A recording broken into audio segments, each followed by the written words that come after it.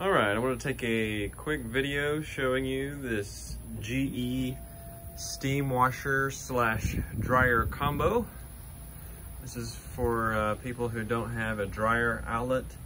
Uh, what you do is you put both your, uh, it serves as both a washer and then as a dryer. So it's pretty neat, it's pretty compact, and I just wanted to give you a walkthrough so you can see um, how well and what how good condition it's in. And really the only cosmetic flaws I see on this is it seems like there's a little bit of a little bitty scratch right there on the faceplate. And see if I can get I don't think you can a little bit of scratching up here. But everything looks really good. In a minute I'm gonna plug it in and uh,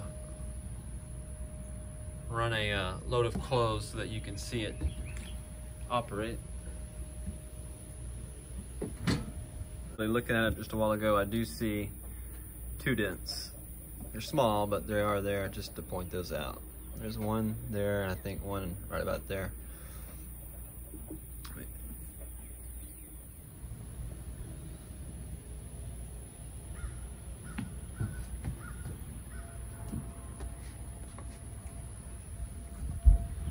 back, everything is good.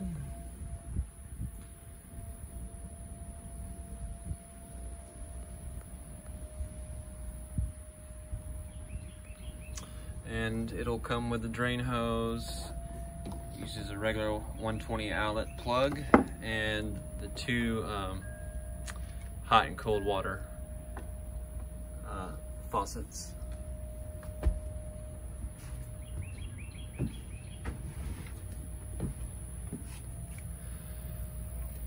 This side.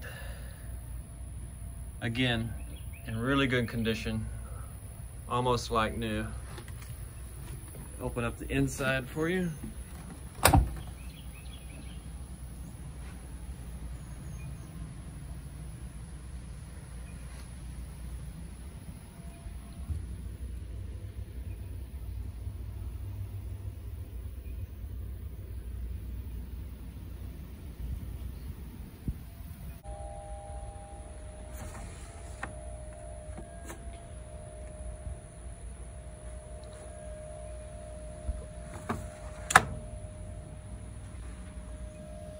I'm gonna plug it in now and run some clothes. All right, here's my setup to test. I've got the wire running into my outlet over here. And I've got the hot and cold hoses running into a branched off water faucet to simulate uh, both hot and cold. So we'll make sure our wash contains both of the hot and cold so we can see water come through both hoses and prove that it works. And then uh, I got my uh, drain hose here just going into a Home Depot bucket. All right, let's get going. All right, first I'm gonna transfer my laundry into the washing machine.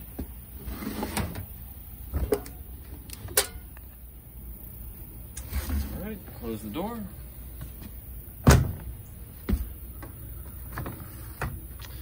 And now in this compartment, I'm gonna put my liquid detergent.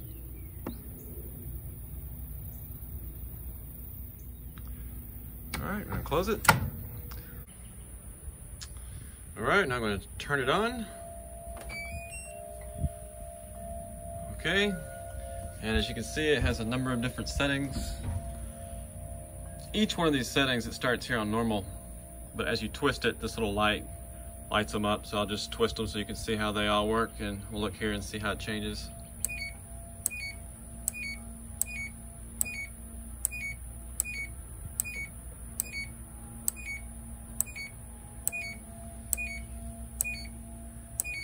All right, so we're back at normal.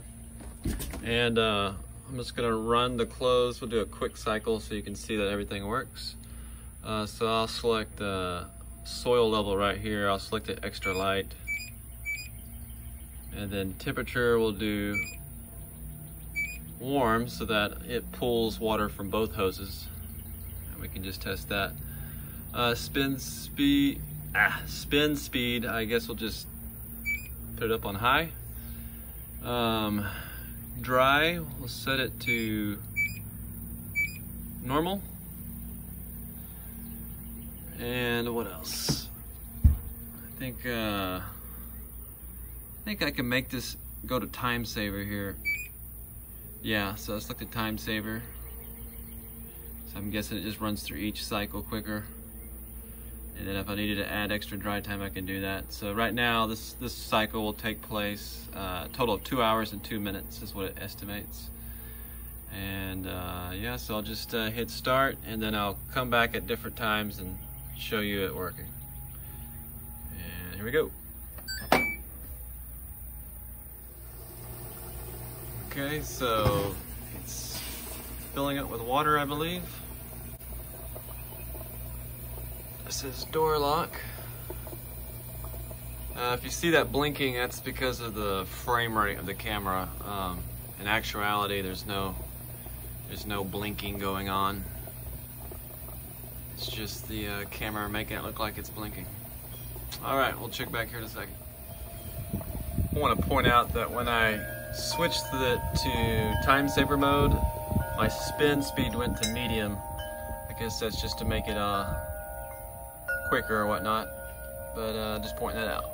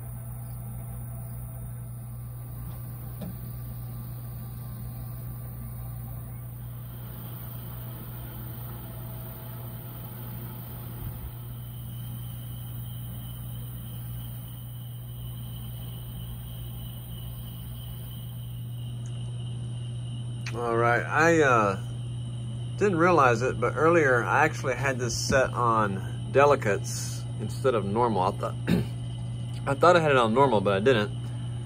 And so anyway, um, I went ahead and stopped it and then just switched it to a time dry because I don't know if on delicates if it uses less uh, heat from the steam. I mean, I don't, I don't quite sure how that works. So anyway, I just stopped it went to the time dry and then uh, put in uh, about 30 minutes. So I got about 14 minutes left. And uh, anyway, the whole purpose of the video is just to show you that it works.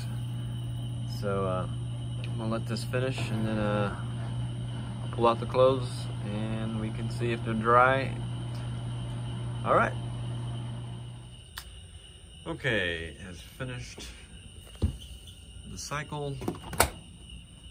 And I will pull out the clothes. And I'm filling them and they are a mostly dry, but I would say they're still a little damp. So what I'll do is I'll just put them back in. Close the door, turn it back on. And I'll select it to auto extra dry and just let it run. Let's see. Normal. Start. All right, I'm gonna go ahead and stop this and see how the clothes are doing right now. Just spin in here an extra hour and a half, so let's see what it does. All right, just uh, hit the power button, so it's shutting down. And I'm waiting for this uh, door lock light to go off and then I can open it up. All right, it's turned off now and we can open it. And clothes are dry.